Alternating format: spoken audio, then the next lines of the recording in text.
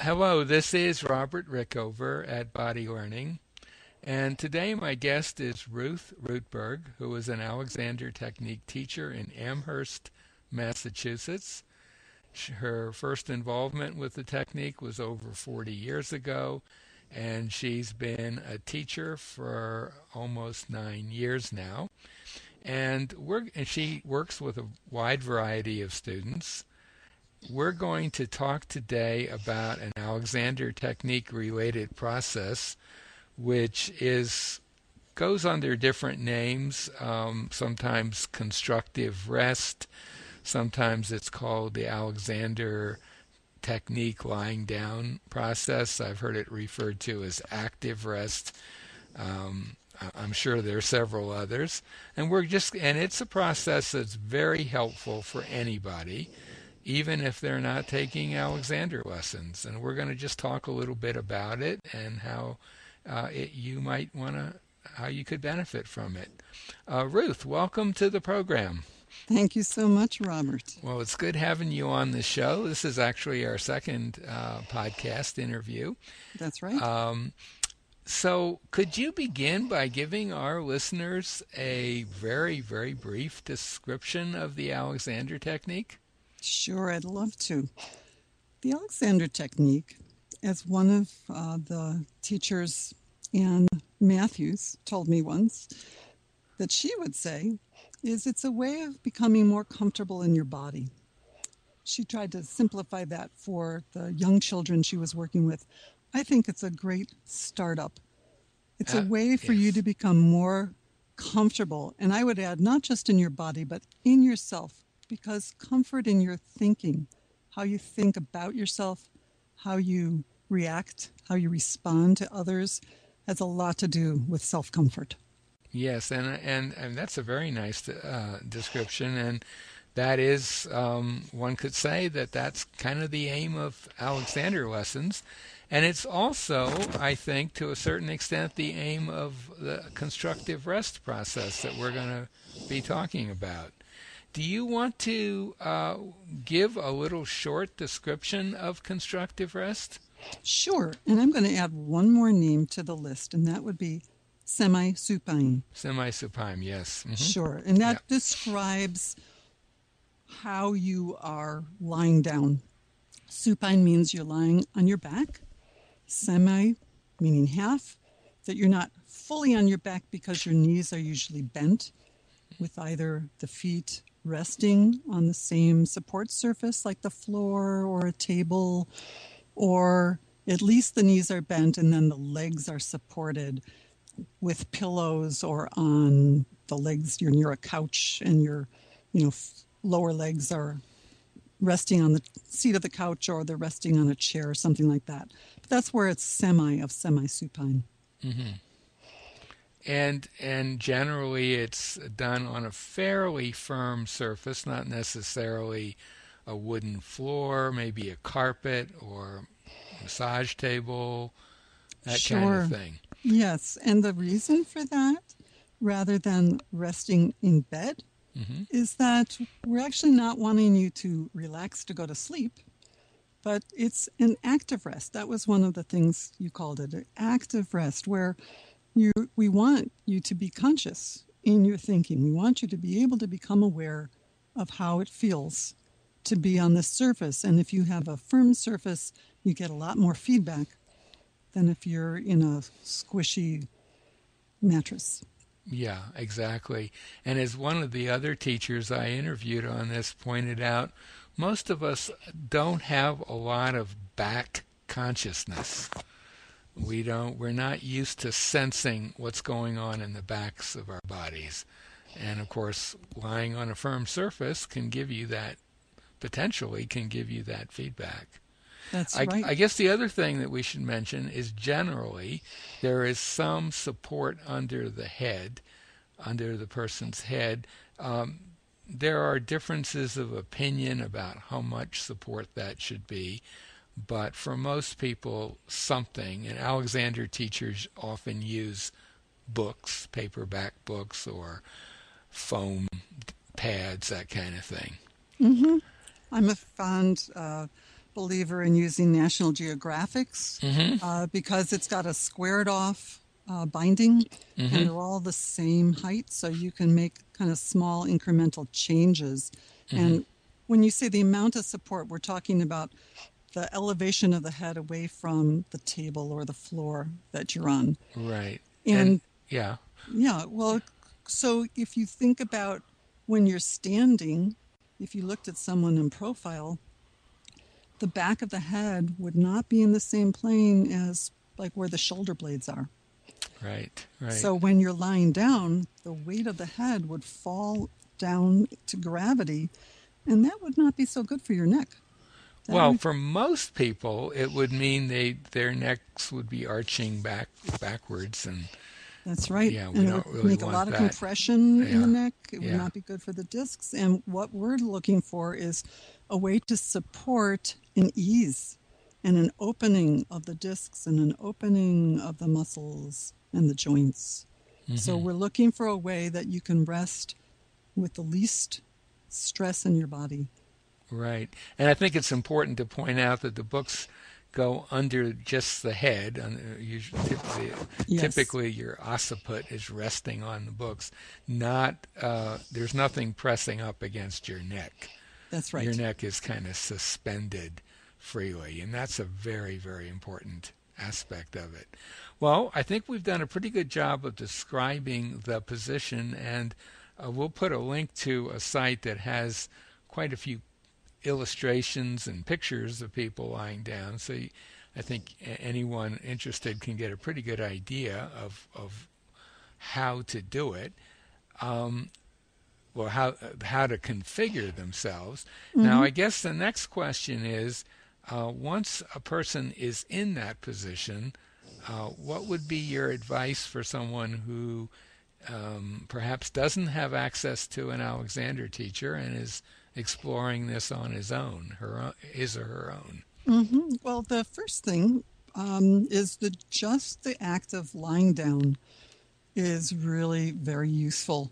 And whether or not you're taking lessons 10 minutes a day, once a day, for the rest of your life is really, really useful. And if it's not for the rest of your life, try it for the next 10 days. Um, it's much more important to develop a steady daily practice of five or 10 minutes than, oh, I'm going to do this for 40 minutes today and then I won't do it for another week. Mm-hmm. And what to do while you're lying down. It might sound a little odd to people who haven't studied the Alexander technique, but if I said, well, don't do anything, I mean, what would that mean to you? You don't have to think about anything to begin with. The position itself is doing a lot of good things for you. It's letting the discs replenish with fluid, which keeps them nice and plump, and that protects your vertebrae. And it's helping to rest your postural muscles, which, when you're upright, they're meant to be working for long periods of time, but they need a rest. Mm-hmm. And then, you know, if you're someone who's lifting kids, lifting books, carrying a satchel, have your arms up at a computer all the time, swinging an axe, whatever you're doing, playing the violin, you need to rest. You need to rest those muscles that have been lifting and carrying and manipulating things. So just stopping and And- doing nothing. and not having uh, not intending to think anything perhaps initially although i'm sure for most people thoughts will come and go and you don't want to necessarily push thoughts away. But i think for a lot of people the experience of being consciously at rest fully supported in a configuration that, as you say, really encourages lengthening and widening through the whole body is is uh, maybe a new thing for a lot of people. I think it's a lot. It's very new for a lot of people. I mean, I'd say the, you know, the closest in our more popular culture would be the power nap, where you're not intending to, you know, take a, a siesta for two hours, but just a short, brief stop. And the difference here is, uh, I tell my students to keep your eyes open for one thing, so you don't fall asleep, but also so that you can develop this conscious awareness while you're resting. It's something that we're not used to doing. Oh, I can feel more relaxed while my eyes are open. I don't have to fall asleep to mm-hmm. become relaxed. Exactly, and and the particular configuration, whatever version of it you use, uh, does um, take just biomechanically, I guess you could say, does take quite a bit of pressure off your spinal column and your neck.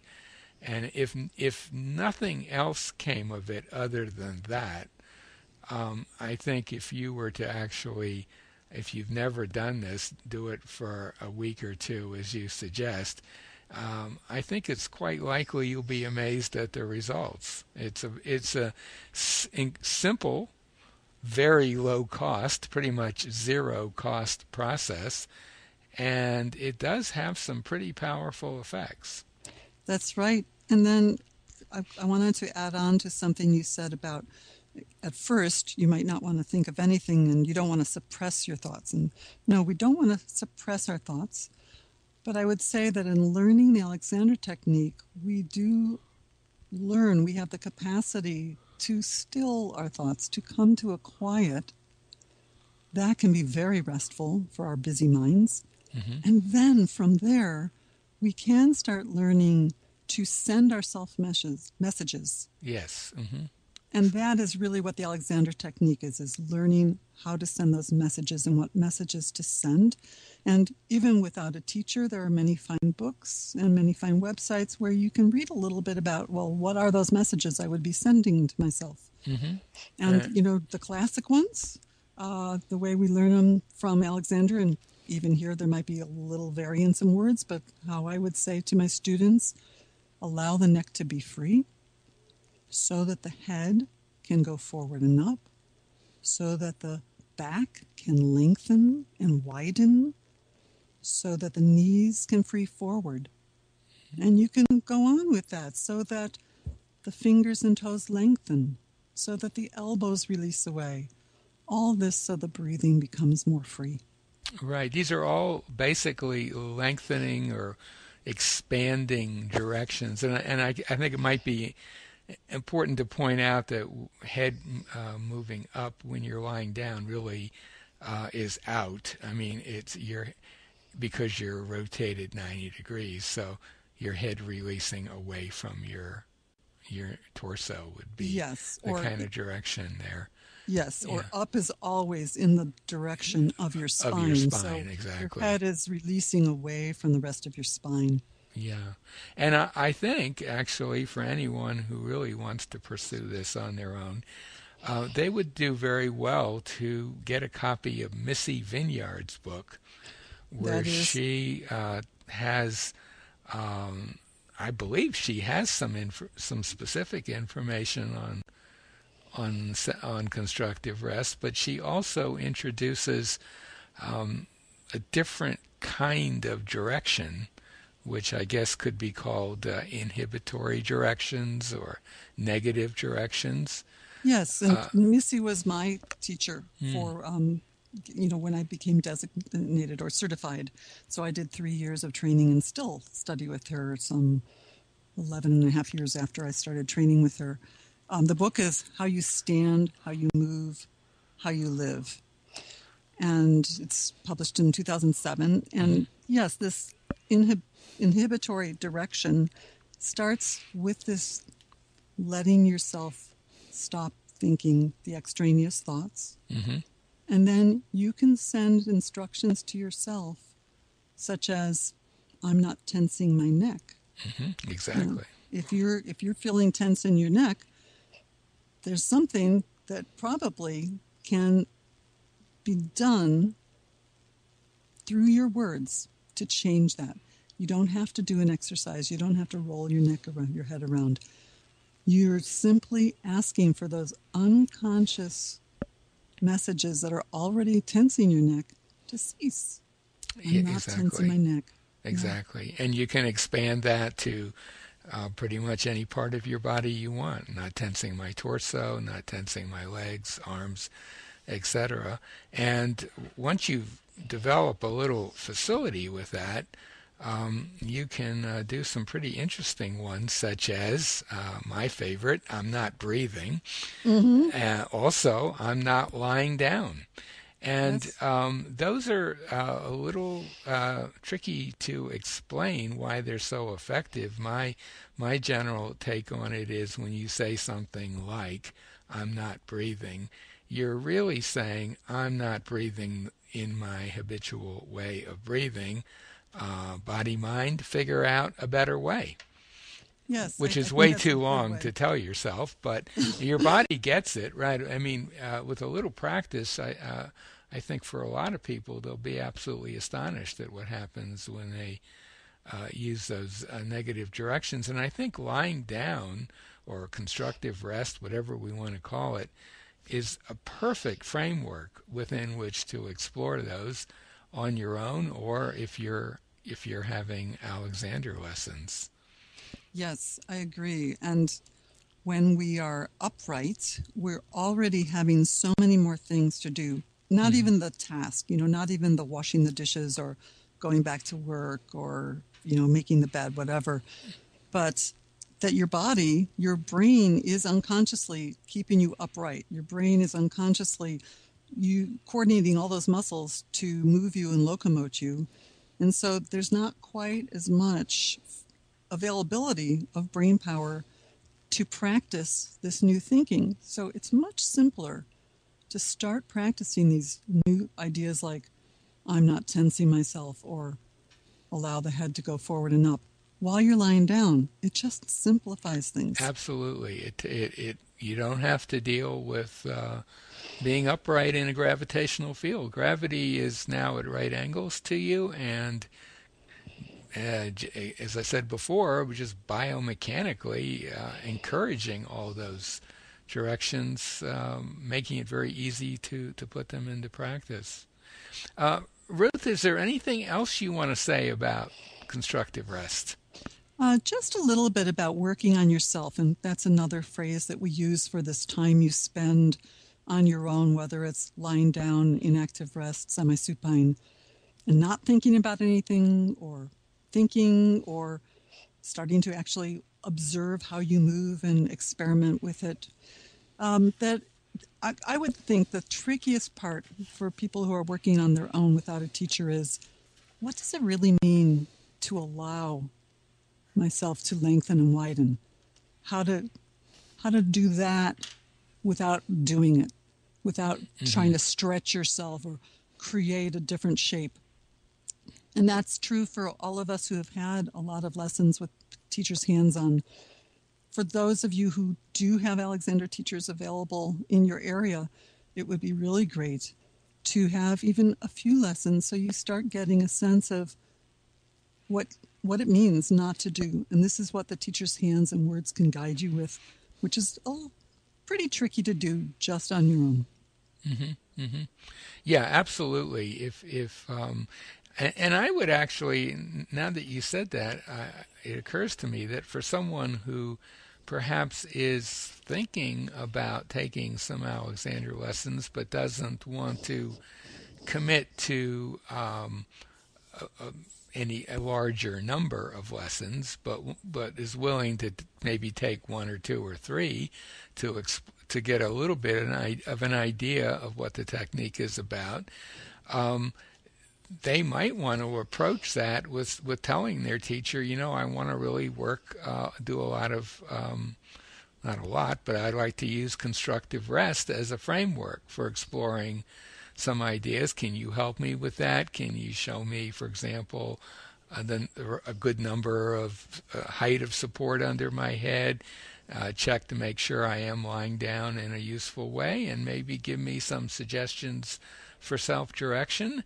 And I'm just going to go off and explore this for a few weeks or months, and um, you know, at some point, that, that person might decide, well, that's great. Now, how about taking those ideas into activities like moving around, which of course is in a way the heart of the Alexander technique, and they might want to come back for more lessons.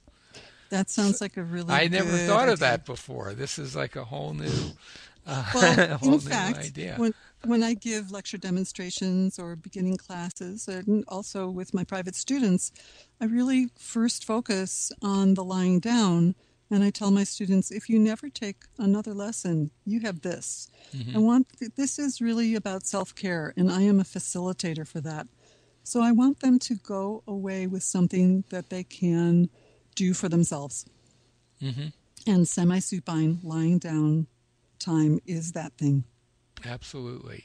Well, this might be a good place to bring our conversation to an end, unless there's anything else you want to add.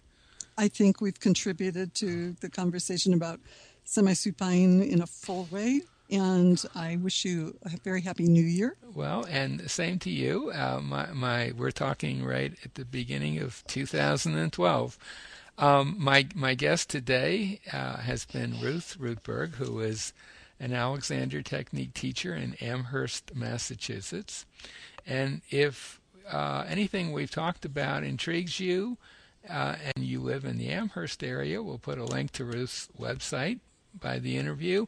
We'll also put a link to a site that will allow you to find a teacher anywhere in the world. And we'll also put a link to a page on that site which has a, um, a lot more information on the on constructive rest interviews with other teachers, illustrations, articles, blogs, videos, you name it, it's all there.